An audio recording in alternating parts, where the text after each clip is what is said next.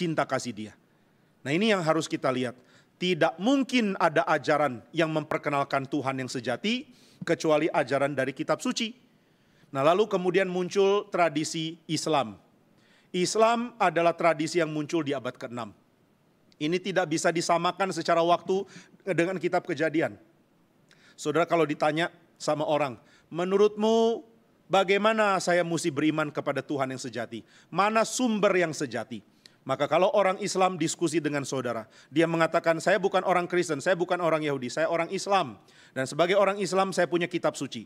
Saudara mesti tanya ke dia, apakah kitab sucimu berdiri sendiri? Apakah kitab sucimu merupakan satu bagian satu hal yang utuh atau merupakan bagian dari kitab suci lain? Islam percaya bahwa Quran adalah wahyu yang belakangan, yang terakhir menurut mereka.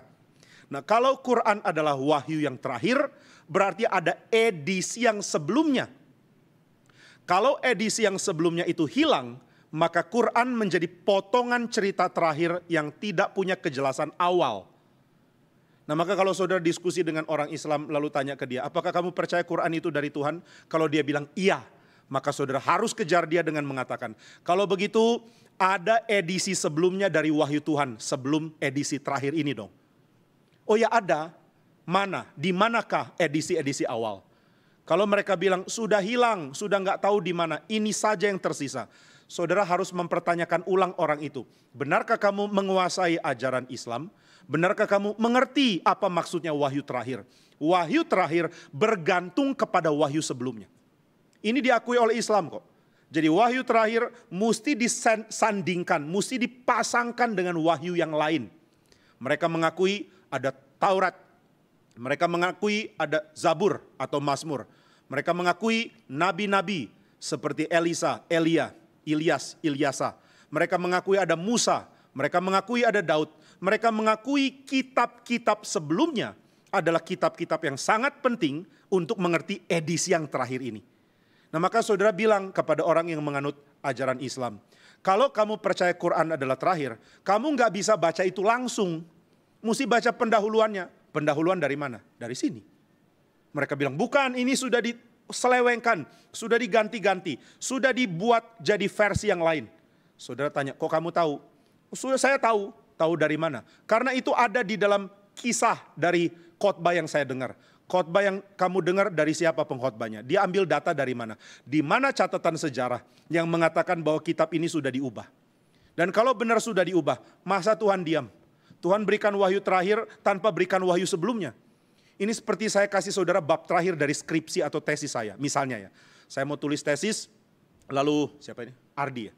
Ardi jadi dosen pembimbing saya. Saya kasih tesis, ini Pak, bab kesimpulan. Ardi tanya, bab pendahuluan mana? Sudah dihilangkan. Ya cari dong, saya nggak peduli. Kalau kamu kasih bab terakhir, kasih bab pertama supaya saya ngerti. Bab pertama, kedua, ketiga, keempat. Baru saya bisa mengerti bab kelima. Nah saudara apakah benar ya? Tuhan kasih wahyu terakhir lalu mengatakan cari sendiri awal-awalnya. Nggak mungkin. Maka sebenarnya kalau saudara diskusi dengan baik dengan orang Islam, saudara harus mengatakan kepada mereka, engkau mesti baca ini. Kalau engkau tidak mau baca ini, tolong tunjukkan kitab mana yang Tuhan kasih untuk dunia yang menjadi awal dari Quran. Mana? Harus ada dong. Karena kalau tidak terlalu jahat untuk berikan wahyu final tanpa wahyu pendahuluan. Nah maka di dalam tradisi Islam pun kitab seperti Taurat, Mazmur, dan Injil adalah bagian dari wahyu Tuhan yang saudara tidak boleh hina, tidak boleh buang, dan tidak boleh tidak pelajari.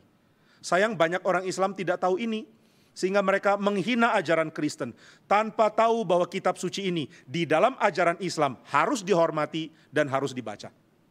Nah ini pengertian yang sayangnya tidak umum di dalam kalangan orang